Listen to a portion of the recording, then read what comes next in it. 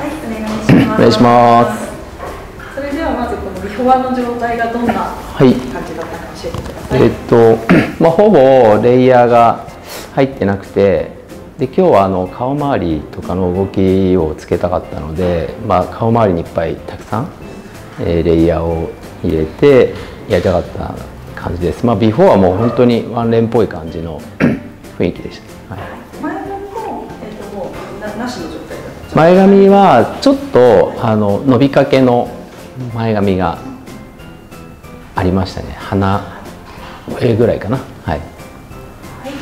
ではそこからどのようにカットしていったのか教えてくださ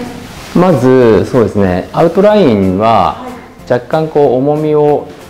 すごい髪が難毛なのであのちょっとこう動きが出づらい感じのあの髪質なのでまあ毛先をちょっとチョップとかを入れて ベース作りをしながら前上がりの、えーレイヤーを入れていってます。はい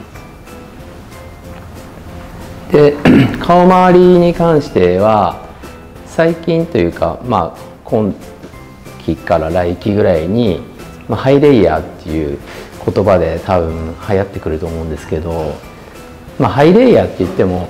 トップのハイレイヤーとかじゃなくて顔周りだけのハイレイヤーを入れてそして動きを作っていくっていうデザインとかが多分流行ると思うんですね。なので、まあ、それをちょっと提案したかったのでハイレイヤーを入れてます。はい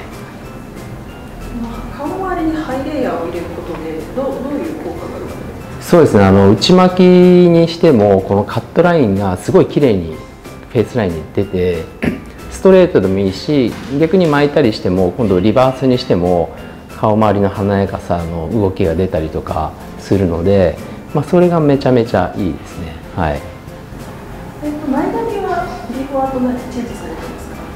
前髪はあのもともと 伸ばしかけのやつをにめがけてこう顔周りのハイレイヤーをつなげていくっていうそういう作業をしてるので、はい、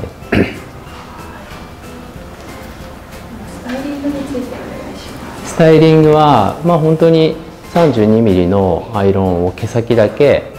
ちょろっとワンカールぐらい全体的につけてで顔周りに関してはちょっとリバースを多めにして巻いてます。でえーっとつける材とかはまあほとんど何もつけなくていいとは思うんですけど、まあ、ちょっとクリームでこうパラついた髪の毛をちょっとまとめるみたいな感じのスタイル剤をつけてます、はい、今回ご提案いただいたスタイルはどんな女性にしたいですか？まあそうですね。あの、まあ綺麗系な感じの雰囲気のデザインを作ってるのであのモテたいとかいい女になりたいとかそういう感じの人にはもう抜群におすすめだと思いますね、はい、ありがとうございました。ありがとうございました